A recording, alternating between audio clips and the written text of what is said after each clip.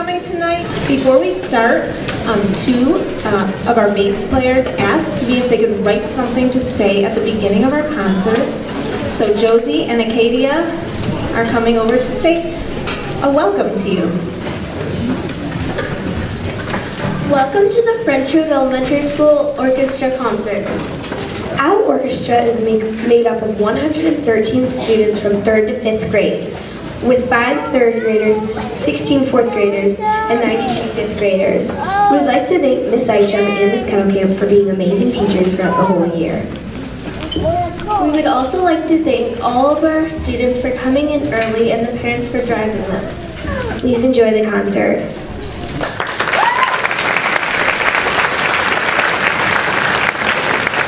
And Laura is going to introduce our first song.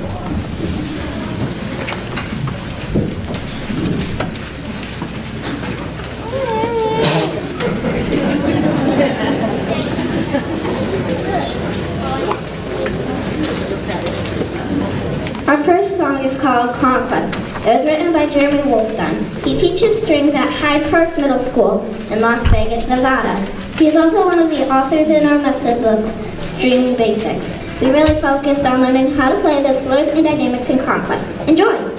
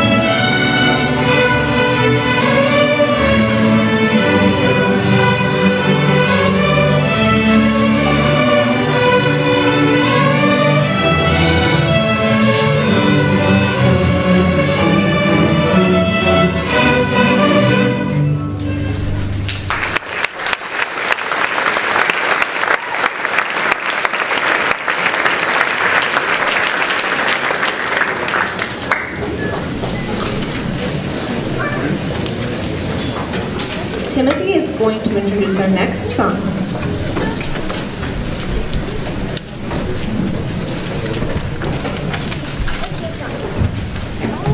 Our next song is Preludio and Allegro by the composer named Corelli. In this challenging piece of music, you will hear musical conversations taking place. The Allegro section in the middle is written in a three-part stretto. That means the conversations are overlapping and will sound as though we are interrupting each other. An interesting fact about Corelli is that he was born in 1653, the same year as the composer of Pachelbel's Canon.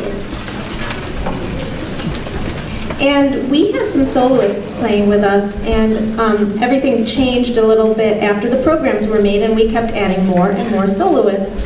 So um, if your child's name isn't in the program, I apologize, and I'm happy to make a new one for you. Um, I think the ones that we left out are Ryan Riccobono, Henry Swing, Karen Beer, Karen Beer, how do you say your last name? Diol, Aiden Elzubi, and Dulan Kosnick. I'm gonna let him say that. And did I leave anyone out who, um, well, they don't know who's in the program because they can't see it. So we'll get that sorted out later if we made any other mistakes. But we've got a slow section with soloists, then a fast allegro section with everybody, and then another slow section with soloists.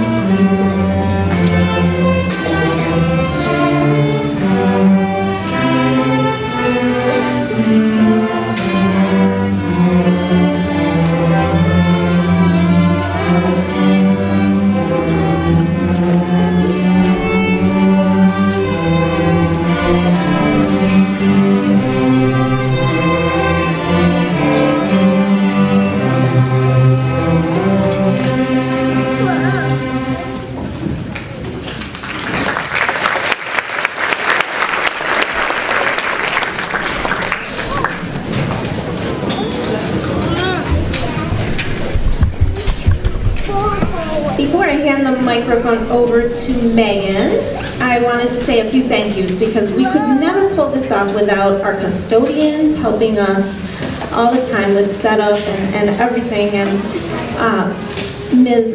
Kettlecamp is also, I want to acknowledge her. She's in the back. Please stand. She's at every rehearsal with us, helping out.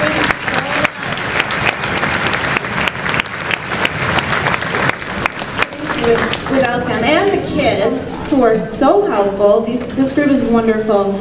Um, stand up if you stay after orchestra to help us clean up every time. Please stand so we can applaud. Aaron. Thank you so much. Thank you. Thank you. They help us so we can get to our first class on time with our fourth graders. Um, so that's just such a huge help. And also, one orchestra student I want to say a special thank you to because she came early before school and helped us every morning set up the folders, whatever we needed to do. We, we said, Jaden, please, we're in a hurry, please help us do this. Jaden Pattyfoot always helped us, so stand up Jaden for a special.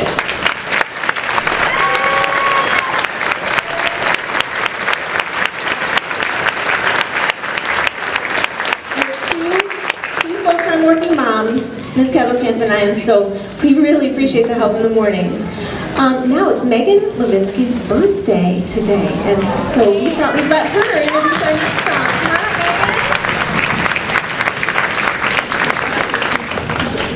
Our next song is The Spark of Courage by Doug Spata, who was born in St. Louis but now lives in Ohio. Mr. Spata is a clarinetist by training, but because of his experience as an orchestra teacher, he now mainly composes for strings. This, because this is a very joyful song meant to send all, our fifth graders off to TCMS with courage, only the fifth graders will be performing the song.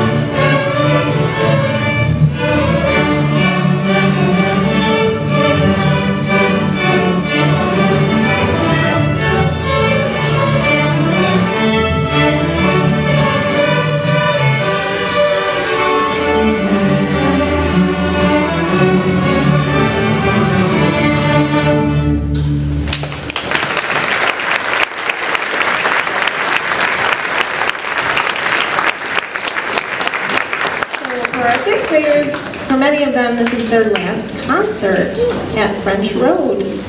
So that's sad, but we'll, we'll miss them, and I'm excited for them to go to the middle school. Um, our last, our last piece is a very special piece. We've got three cellists who are going to introduce it, but before they, before they do, um, we have a surprise for the students I don't think you know this yet, but the composer of this piece of music is my brother-in-law, and he happens to be here tonight. And so we wanted him to come up so the kids could meet Mr. Tim Isham. Are you out there? He's supposed to be here. There he is.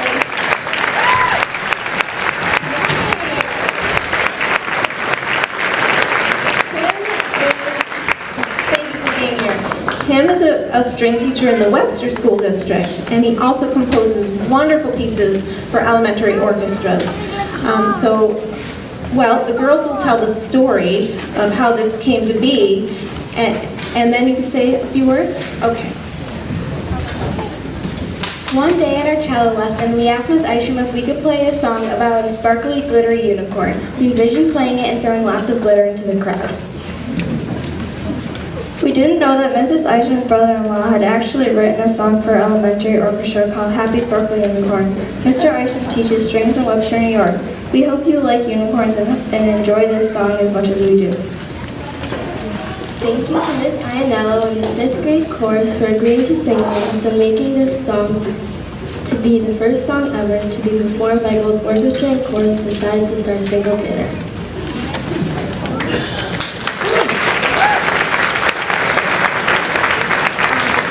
We're so thrilled that you came tonight, and if you could say a few words about the piece, we'd love it. Thank you. First of all, I just want to apologize to all the adults in the room for having written a song called Happy Sparkle Unicorn. um, this this, this uh, piece came about because I, I do teach in Webster, and, I, and my students ask me all the time, can we play this popular song or that popular song? And it's really it's always a no to them, and I feel bad, but it's just, it doesn't work out for an elementary orchestra to do those kinds of songs. But I wanted them to have that rock star experience, that we, we can play a real cool, popular song. So I started with the music part of it. Didn't, uh, we, I just had the title, Happy Sparkly Unicorn. Wrote, wrote a full piece for orchestra uh, that sounded like a pop song. Uh, that's only half of the equation. Part of the fun of doing a song like this is that it has to be a song that everybody knows. When you say the name of the song, everybody goes, oh, did you um, So there's the other part of this, is that I took that complete orchestra piece and I wrote words to it. Um, instead of strings, I put electric guitars, keyboards, drums, and we made a, uh, a rock song out of it uh, put it on YouTube with the help of my students, made a music video, spread the word to all the kids in the school. This is an all-year project. And when we got to the concert at the end of the year, I said, now we're going to do Happy Sparkle Unicorn. And we did get that reaction. All the Feel the buzz in the crowd. So that's the story of the piece. Um, the extra, extra special part of this for me tonight is this was really never intended to be a vocal piece. Um, if, you, if, you, if you've heard the piece on YouTube, and I suggest you don't, but I had to, I had to alter my voice digitally to cope with the range, because it's written for it. It uses the full range of the orchestra, the very highest notes in the violins and the very lowest notes in the basses. Um, it's really not an appropriate vocal range. Um, so I got an email from Mrs. Ianello, and she said, we'd like to sing Happy Sparkly Unicorn with the chorus. And I did this with my eyebrows. Said, you can't see this. That's what I was thinking to myself. But she made it happen. I sent her the music. Um, she, she made everything work with the octaves for the kids to sing. And this is super special. I'm super pumped to hear these kids sing the song and these kids play it. So thank you especially to Mrs. Isham and Mrs. Ianello.